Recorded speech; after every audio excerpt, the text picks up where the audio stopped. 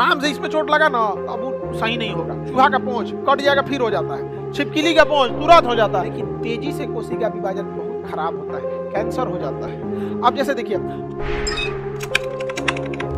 तो देखिए, विभाजन नहीं होता है ब्रेन में। अच्छा विभाजन नहीं होगा तो निर्माण नहीं होगा।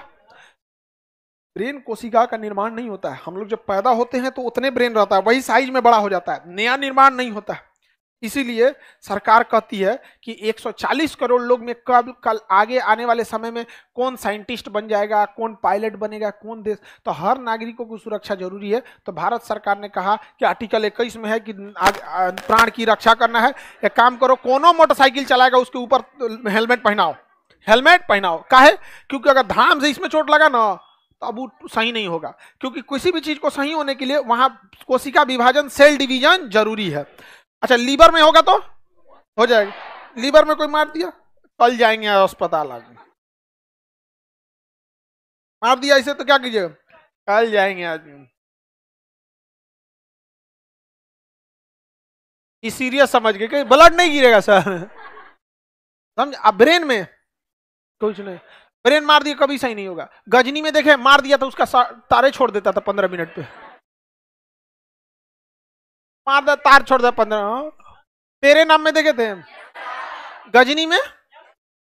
देखो, प्रेम करने से पहले अंजाम देख लो, और यकीन ना हो तो गजनी और तेरे नाम देख लो। ये दोनों पिटाया सब लड़की के चक्कर में। समझ में आ गया कि नहीं? और उस लड़की सबको चाहिए था हीरोआ पिटाएगा की, मत मारो! मारो तो तोरे चक्कर में पिटा रहा है हाँ? आगे बढ़े। किसी को कोई दिक्कत नहीं। तो सबसे तेज विभाजन? ब्रेन में होता ही नहीं है। ब्रेन में नहीं होता।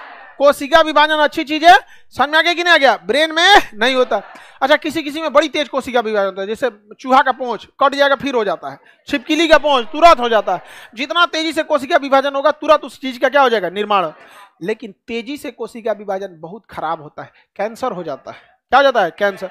अब जैसे देखिए, हर चीज़ एक दूसरे से, एक चीज़ से जुड़ा हुआ है। जैसे अब दरवाज़ा है, घर का दरवाज़ा, कितना हल्का अंतर होता है। बरसात के समय फूल जाता है, बंदे नहीं होता है। तो धाम धाम मांगना पड़ता है, फंस जाता है, खींचना पड़ता है छोड़ रहे जो कभी निचवा जमीनवा में फंस जाएगा मोटा ओटा के। क्या हो गया? दरवाज़ा को कैंसर।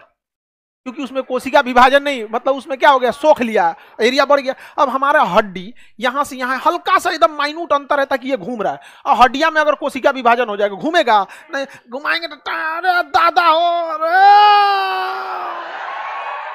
नहीं समझ में अब घूमबे नहीं करेगा यहाँ पे, चारों ओर का हड्डिया बंद हो जाएगा। बोन कैंसर समझ में आ गया कि नहीं? बढ़ने लगेगा। अच्छा कोशिका विभाजन होगा बढ़ने जहाँ तहां से बढ़ेगा। और जब बढ़ेगा तो अगल बगल वाले को डिस्टर्ब करेगा कि नहीं? जैसे आप लोग हैं, जहाँ बैठे हैं सीट पे, कोई दिक्कत नहीं है। एम कोनो का विभाजन होने लगे।